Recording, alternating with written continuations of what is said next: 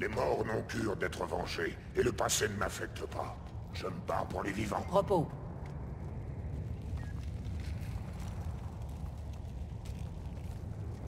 Quoi encore?